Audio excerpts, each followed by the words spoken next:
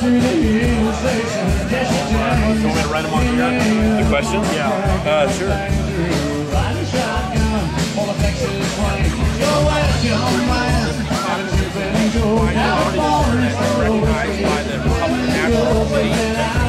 And we're an organization within the party that's trying to bring the party back to the Constitution.